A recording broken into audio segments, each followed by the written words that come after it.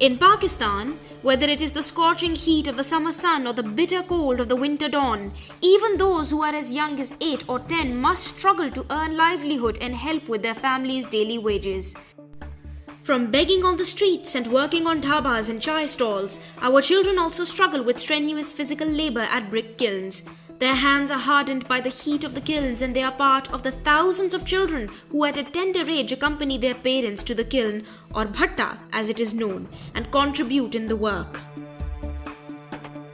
Coat वगैरह पा के जाते हैं टोपी वगैरह पा के जाते हैं जाके फिर हम कहानी बढ़ते हैं कहानी बढ़ के फिर उसको साड़ी को बढ़ के फिर उसको बनाते हैं बना के फिर अपने पापा के आगे सुटी दिए सुट के फिर बाद चपेर च पानी लाई दा पानी ला के फिर रेत लगाई दी रेत लगा के फिर उसको फटियाँ लगाई दियाँ उसके में ईट में तो फिर जो गारा मुक जाता ना उसके साथ फिर हम सुट देते हैं अपने पापा के साथ गारा The Punjab Prohibition of Child Labour at Brick Kilns Act 2016 bans children from working at the kilns.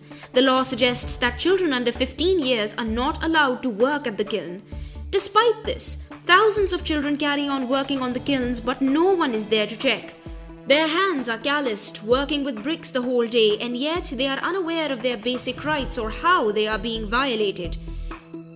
और फिर मिट्टी गल में जानती है तो खां बीमारियाँ लग जाती हैं तो उधर बाथरूम का नहीं रखा है काम करने वाला जो मज़दूर है डस्ट होती है गर्दो और उसके साथ केरी जो खास तौर पर वो पकी ईंट के वो वो उसके सांस के साथ उनके अंदर जाती है सर्दियों में काम कर रहे हैं, पानी बहुत ज़्यादा ठंडा है, मिट्टी ठंडी है, उन्होंने उसी ठंडी मिट्टी में हाथ लगाना है, उसी मिट्टी के साथ ईंटें बनानी है। गर्मी है तो गर्मी में बहुत ज़्यादा, तपती धूप के अंदर उनको काम करना पड़ता है। क्योंकि अगर वो काम नहीं करेंगे तो जो कर्ज़ उनके ऊपर है वो उसको नहीं उतार पाएँगे कि जो सेहत के मसले हैं बहुत ज़्यादा हैं अगर कोई बीमार हो जाता है तो वो इतना नहीं उनके लिए है कि वो वहाँ से जाके मेडिसन ले सकें The Bonded Labour Liberation Front Pakistan shows that there are 10,000 brick kilns in Punjab only. There are around 17,240 labourers residing in these.